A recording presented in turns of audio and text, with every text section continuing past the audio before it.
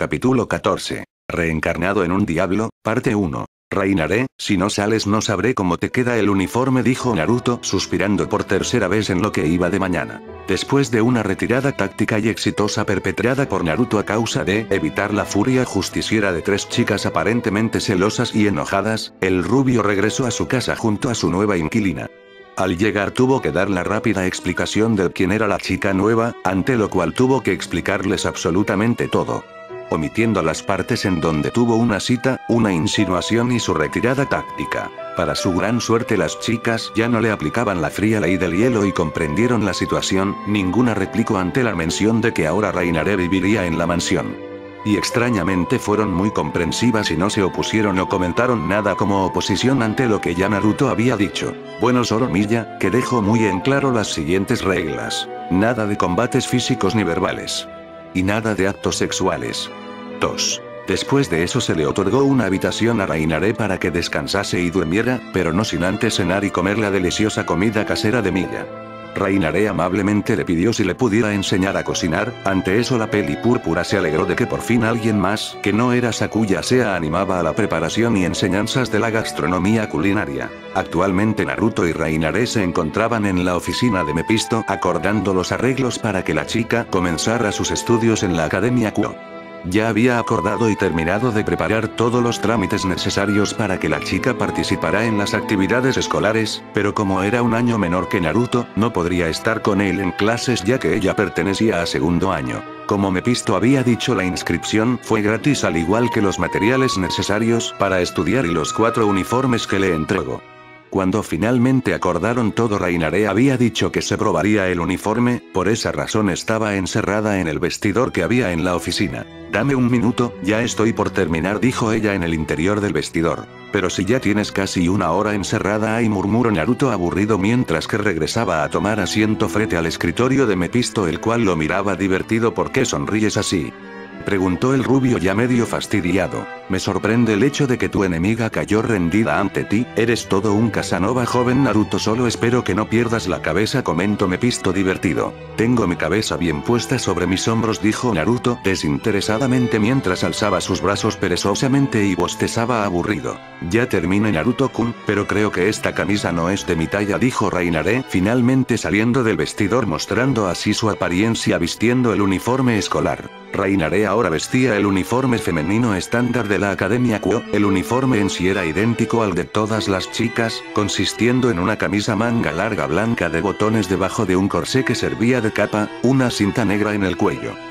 Una falda magenta con acentos, y como toque personal ella le agregó a su uniforme unas medias negras hasta los muslos, unos zapatos de vestir marrones, y finalmente manteniendo su cabello suelto. Ella había conservado su apariencia verdadera ya que no hacía falta regresar a su apariencia de niñita inocente. El único inconveniente que tenía al conservar su verdadera apariencia era que a causa de que sus pechos ahora son más grandes que antes sentía la camisa algo ajustada, lo cual resaltaba el volumen de sus pechos. ¿Cómo me queda el uniforme?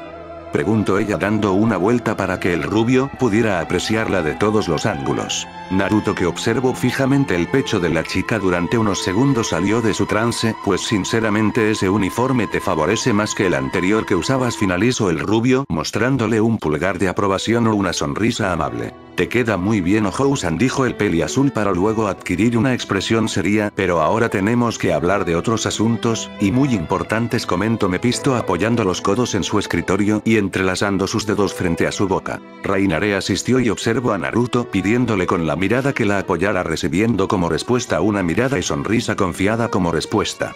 Con ese apoyo ella procedió a contarle todo lo que sabía de los planes de Samet, como el hecho de que considera a Naruto como una amenaza, de que disponía de una iglesia como escondite y que también tenía a unos cuantos sacerdotes de su lado y finalmente el hecho de que tenía planes con el Sacred Heart de Yodo Uisei. ¿Esa es toda la información que tienes? Pregunto Mepisto recibiendo como respuesta un asistimiento de forma positiva de parte de Reinaré la situación está algo complicada finalizo soltando un suspiro. ¿Por qué lo dices? Preguntó Naruto. Como director de esta academia es mi deber cuidar de cada uno de los jóvenes que estudian aquí, y como dice ella, no sabemos qué más tenga planeado Samet y no me puedo dedicar a cuidar a uno solo de mis estudiantes, de ser atacado o en el peor de los casos.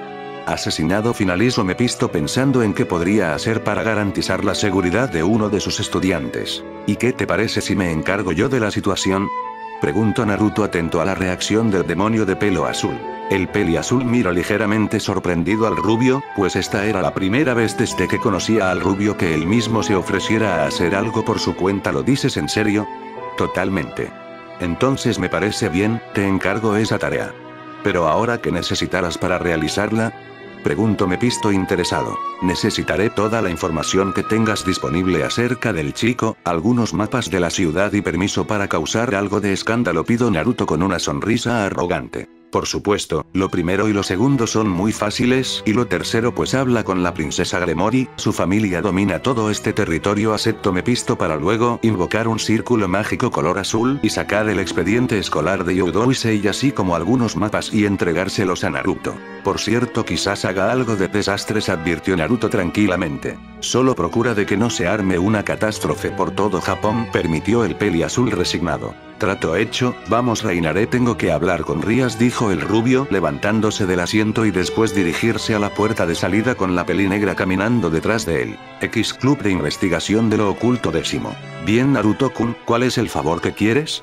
Preguntó Rías sentada frente a su escritorio. Hace algunos minutos Naruto junto a su nueva y aparente rival habían llegado al club lo cual no le parecía extraño hasta que el rubio le pidió un favor, el cual sería el primero desde que se conocen y que estaría más que dispuesta de cumplir con tal de satisfacer al rubio.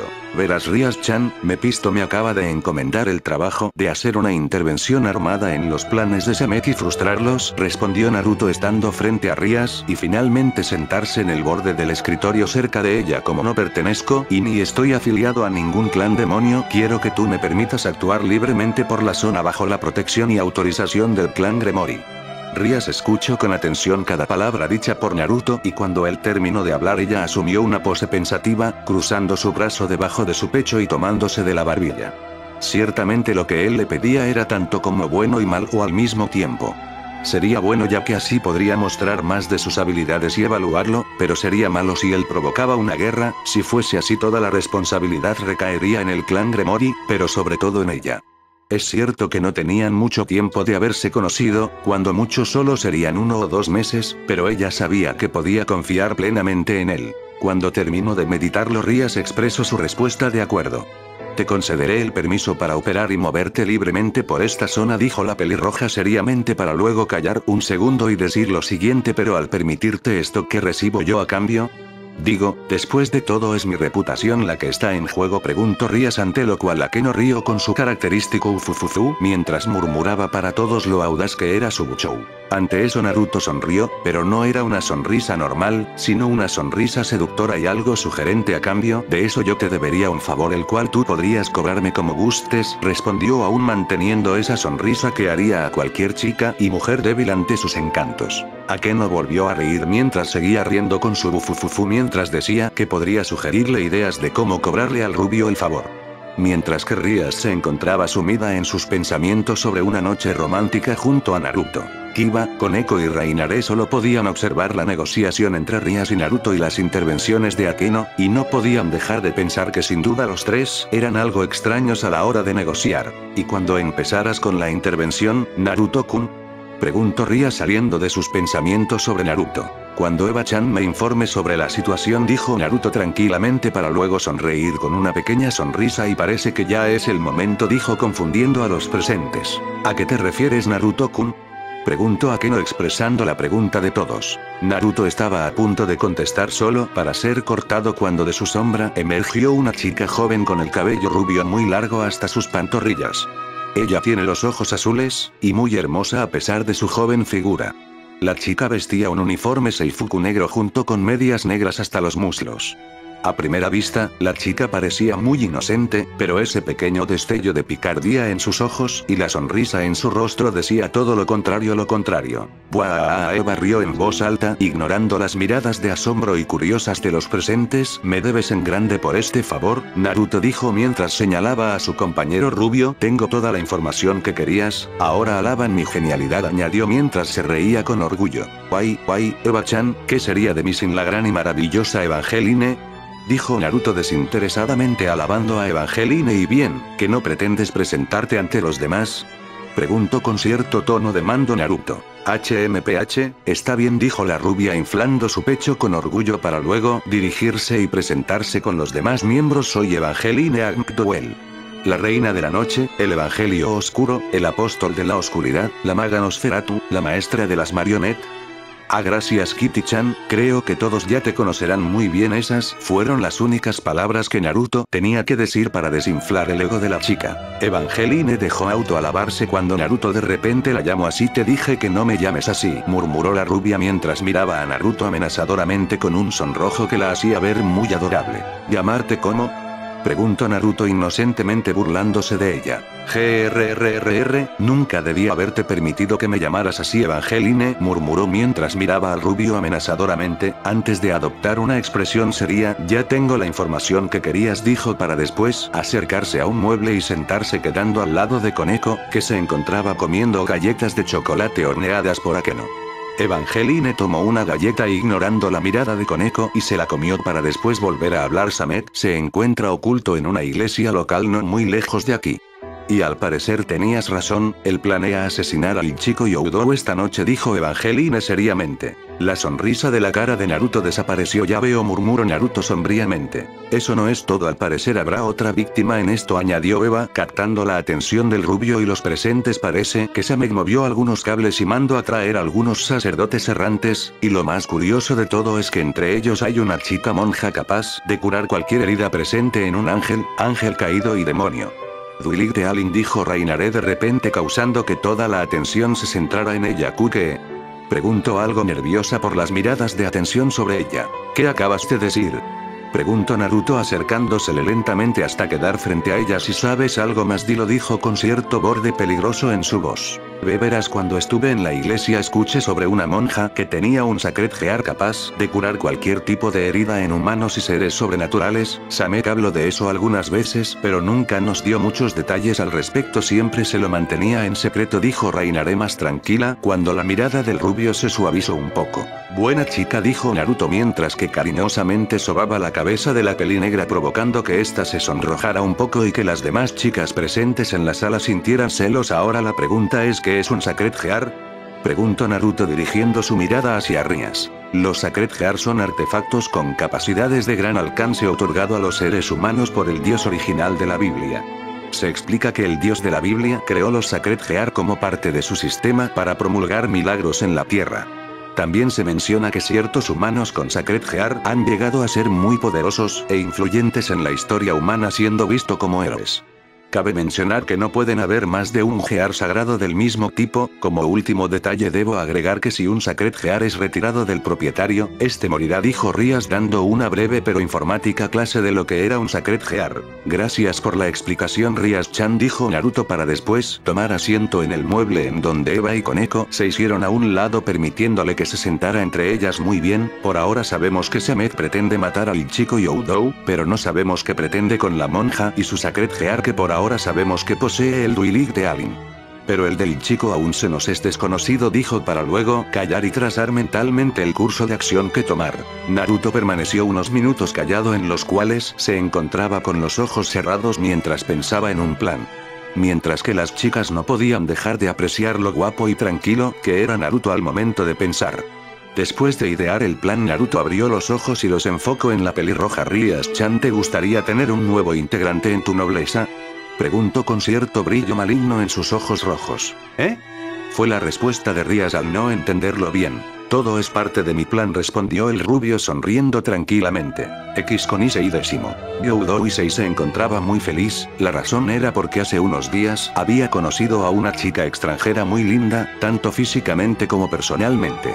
Ambos se pusieron de acuerdo para encontrarse después de la escuela para salir en son de amigos. Issei es un chico de 17 años de edad de mediana estatura con cabello castaño corto y ojos de color marrón claro.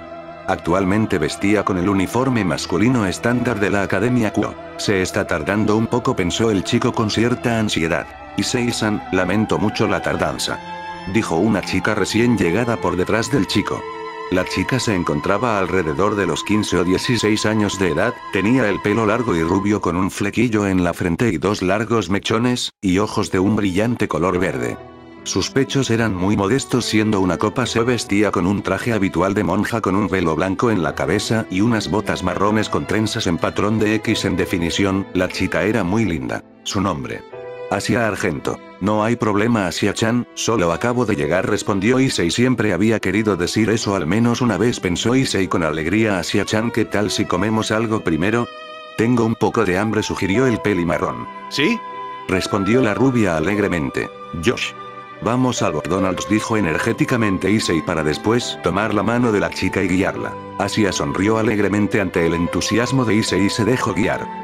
Él la guió por las calles y durante el trayecto conversaban animadamente siendo Issei el que más hablaba y Asia lo escuchaba con atención. Cuando finalmente llegaron al establecimiento de comida entraron y pidieron una hamburguesa, papas fritas y refrescos para después sentarse en una mesa junto a la ventana.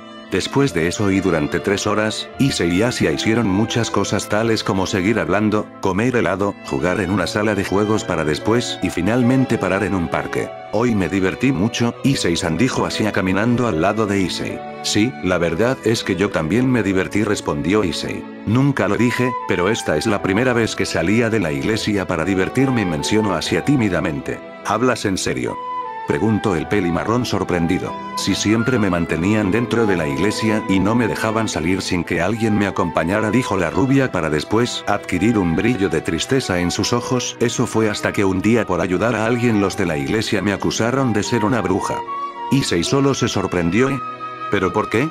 Preguntó confundido. No me creerías, dijo ella evitando la mirada del chico. ¿Por qué? ¿Qué tan malo podría ser? Preguntó Issei confundido. Asia se disponía a responder pero cayó abruptamente al ver la sombra que se cernía detrás del chico. Issei al sentir una mala sensación detrás de él se volteó y se encontró con un hombre de mediana edad con el pelo negro corto, y ojos de color azul oscuro. Su vestimenta consistía en un abrigo violeta pálido sobre una camisa blanca con un pañuelo a juego, pantalones y zapatos negros y un sombrero de fieltro negro. ¿Este es el destino o simple coincidencia? Pregunto a la nada el extraño señor Samek-sama, ya no tendrá que esperar más por ti, portador del Sacred Gear dijo el hombre en un tono oscuro. La sensación que transmitía el extraño hombre incomodaba mucho a Issei que tomando de la mano a la inmóvil chica retrocedió unos pasos ¿Q quién es usted y qué quiere? Preguntó con algo de nerviosismo. Issei-san será mejor que se vaya, él es peligroso para usted sugirió Asia preocupada por la seguridad del chico. No lo creo, no me iré no puedo dejarte con este sujeto dijo Issei parándose protectoramente frente a la chica. Qué conmovedor, ambos cuidándose mutuamente dijo el extraño hombre mientras que de su espalda brotaban dos alas angelicales negras supongo que si te lastimo un poco no hará que mueras dijo para después volar hacia el chico con la clara intención de lastimar al chico. Aún sorprendido Issei no tuvo tiempo de esquivar el golpe que el hombre con alas le propinó en la cara seguido de una patada en el pecho que derribó al chico al piso. Issei-san exclamó Asia preocupada por el chico. Maldición eso dolió y mucho se quejó Issei mientras se levantaba del suelo y qué demonios es ese tipo. Él, él es un ángel caído respondió Asia sorprendiendo a Issei. Bromeas verdad? De ninguna forma eso de los ángeles y ese tipo de cosas existen dejo Issei en la negación ah, ya sé, esto es un reality de cámara escondida verdad? Pregunto pensando que se trataba de una broma. Pero qué iluso eres al pensar que esto es una broma, supongo que me toca enseñarte la realidad dijo el hombre ángel caído mientras que en su mano se formaba una lanza de luz azul despierta mocoso exclamó arrojando la lanza hacia Issei. Asia se interpuso entre el chico y el trayecto de la lanza, pero nunca esperó a que en el último momento Issei se levantara y la empujara a un lado para protegerla quedando él con la lanza empalada en su abdomen mientras caía de rodilla al suelo derramando una gran cantidad de sangre haciendo que se desangre rápidamente. Issei-san. Gritó Asia horrorizada. TKS, parece que me deje llevar un poco murmuró el hombre ángel, si el mocoso muere Samek-sama se enojara dijo para después a paso lento acercarse al sangrante chico y la horrorizada monja utiliza tu sacred gear y cura lo ordenó él a mitad de camino hacia ambos chicos. Saliendo de la sorpresa hacia activo su sacred gear que le dio un anillo plateado en cada mano.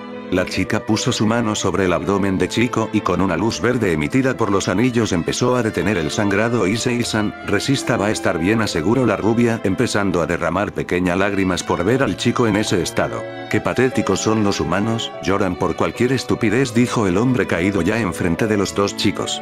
Sin ningún cuidado o consideración el hombre retiró la lanza abruptamente del abdomen de Chico provocando que saliera aún más sangre por esto odio a los humanos, no resisten nada dijo con disgusto el caído. Issei-san por favor no muera susurró Asia derramando algunas lágrimas que cayeron sobre el pálido rostro del peli marrón. Pero qué insecto más despreciable dijo una voz femenina. ¿Quién anda ahí? Preguntó el hombre caído en guardia. Vaya te debes de creer muy chulo por atacar a un chico indefenso dijo otra voz solo que esta es masculina con burla. Sin importar quiénes son será mejor que salgan y den la cara dijo el caído preparando otra lanza de luz. HMPH, será como tú quieras dijo la voz femenina. El ángel caído no tuvo tiempo de reaccionar cuando de la nada y frente de él apareció una niña rubia que lo golpeó fuertemente en la cara mandándolo a estrellar contra un árbol. Cuando abrió los ojos observó a la misma rubia acercándose velozmente hacia él para después patearlo en el pecho provocando que atravesara el árbol. Ya no pareces la gran cosa dijo la joven rubia caminando lentamente hacia él. Es fácil ir por ahí atacando humanos y que estos no se puedan defender dijo tomándolo del pie para luego arrojarlo al aire. Pero no te preocupes en medio del aire la rubia apareció y lo golpeó en el estómago. Yo te mostraré algo de respeto dijo para finalizar con otro golpe en la espalda, mandándolo a estrellar contra la fuente en el parque. ¿Cu quién demonios es esa mocosa? Se preguntó el caído sorprendido y adolorido. 1. ¿Qué sucede? ¿Ya estás casando? Preguntó la rubia apareciendo frente al caído y lo sujetaba de la cabeza para después impactársela contra el piso repetidas veces débil, débil y patético exclamó la rubia como toda una bravucona. Mientras que la niña rubia se encargaba del caído Asia, seguía curando a Issei que ahora está menos pálido por ya no estar perdiendo sangre gracias a la curación de Asia. Pero la rubia se asustó un poco cuando frente a ella y el inconsciente Issei apareció un chico rubio de ojos rojos, vistiendo el mismo uniforme escolar que vestía Issei lo cual la tranquilizó un poco. No te preocupes, soy de los buenos dijo el rubio con una sonrisa tranquilizadora, y ciertamente no pudo evitar soltar una risita al ver cómo la chica abrazaba al inconsciente chico protectoramente contra ella. ¿Conoces a Issei-san? Preguntó Asia con desconfianza. No exactamente, somos de la misma academia pero de años diferentes, para resumir soy su senpai dijo ya un poco más cerca para observar el estado del chico. Esto es malo la lanza perforó muy cerca del corazón y la pérdida de sangre aunque ya está detenida no cambia el hecho de que igual perdió mucha pensó Naruto al ver el estado del chico Rias-chan, ven pronto o este chico morirá.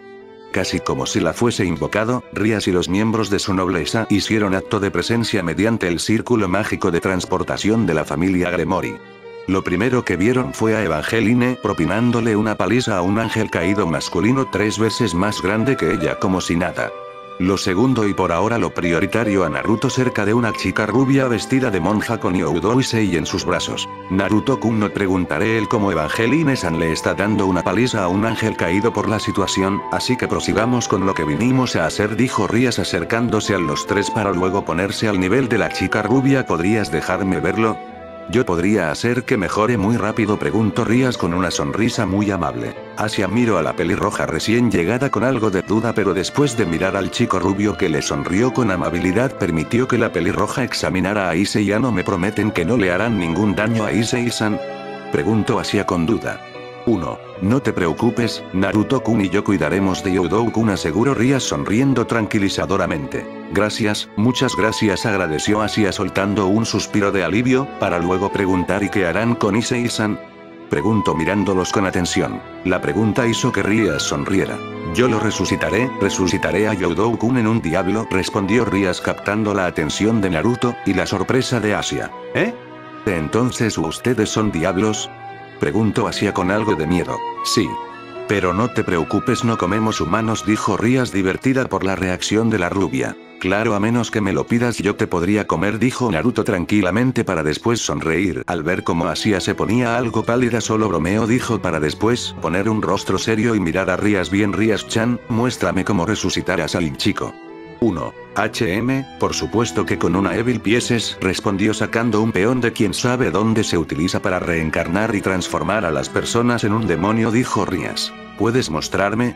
Preguntó Naruto con genuina curiosidad e interés. Por supuesto respondió Rías con una sonrisa feliz. Rías se acercó al cuerpo de Issei e invocó al resto de sus piezas HM, 1, 3, 6, 8, HMMM 8 peones.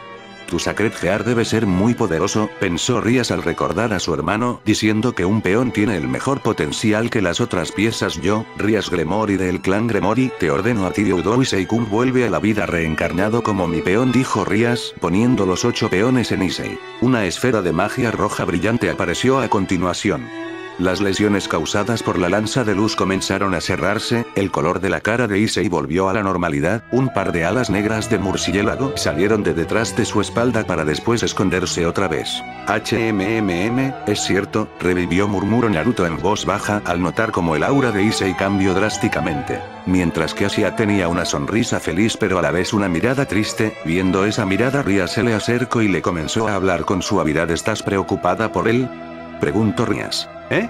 Sí, Issei-san es una buena persona dijo Asia, mirando al inconsciente Issei con una mirada feliz por favor, cuide de Issei-san él es un gran chico dijo Asia para después levantarse y salir corriendo del lugar. Rías la iba a seguir para una mano en el hombro la detuvo, volteándose se encontró con Naruto que miraba como la chica se iba con algo se pesar déjala ir, hoy fue un día muy duro para ella y el chico. Lo más seguro es que esté confundida y quiera estar sola aconsejó Naruto con suavidad. ¿Acaso ella? Medio preguntó Rías. Tal vez respondió para luego tornarse serio por ahora saquemos la información al tipejo ese dijo Naruto refiriéndose al apaleado caído el cual Eva lo tenía cautivo con esposas y grilletes de hielo Eva-chan ¿te divertiste?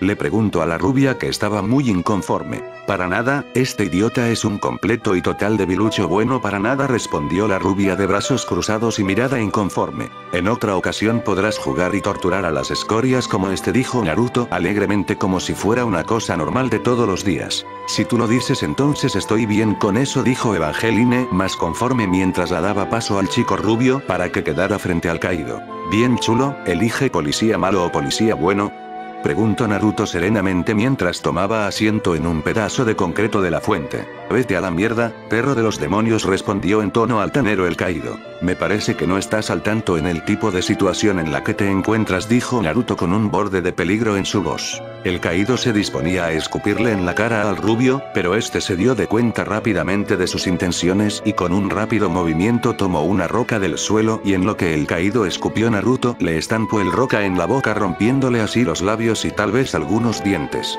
Me parece que tendré que ser más drástico y metódico, murmuró Naruto para luego ver a su alrededor y pensar en qué hacer. Hasta que se le ocurrió una idea Neakeno-chan dijo llamando a la mencionada. ¿Sí, Naruto-kun? Preguntó Akeno inocentemente. ¿Me enteré de que eres una completa y total sádica o es mentira? Preguntó Naruto esbozando una sonrisa igual de inocente. Ara Ara, ¿quién habrá sido? Preguntó la peli negra mirando a Rías, que miró hacia otro lado mientras silbaba pero sí, es verdad, en ocasiones me encargo del trabajo sucio, soy como la sacaría de Buchou admitió a que no. Perfecto, entonces sé buena niña y ven aquí dijo o más bien ordenó Naruto con una sonrisa misteriosa y algo perturbadora. Akeno al ver esa sonrisa de parte del rubio sintió como su corazón empezaba a palpitar como loco y un agradable cosquilleo en su vientre. Ella tranquilamente se acercó hasta el rubio y cuando estuvo cerca de él, este tomó su mano suavemente y la examinaba. Pero qué hermosa y delicada mano tienes habló con suavidad el rubio ¿qué te parece si le causamos algo de dolor a este infeliz? Sugirió mientras besaba con suavidad sus dedos. no sintió que de repente necesitaría un cambio de ropa interior pues la que traía puestas ya se sentían algo húmedas. ¿será que me estás proponiendo algo más? Pregunto pícaramente a Keno pero ¿qué quieres? O más bien, ¿qué deseas que haga Naruto-kun? Pregunto seductoramente. Así me gustan, seductoras y obedientes dijo con una sonrisa seductora cuando diga que utilices tu magia de trueno la usas, Como respuesta a Keno solo sonrió y asistió mientras que el rubio le sonrió de vuelta para después guiar su mano hacia el abdomen del caído. Lo siguiente que pasó la sorprendió a ella, al caído, y a los demás miembros del club de lo oculto, con la única excepción de Evangeline que no parecía para nada sorprendía, solo sonreía malévolamente. Hazlo susurró Naruto en el oído de Akeno. Akeno hizo lo que Naruto le dijo y aún sorprendida usó su magia de trueno.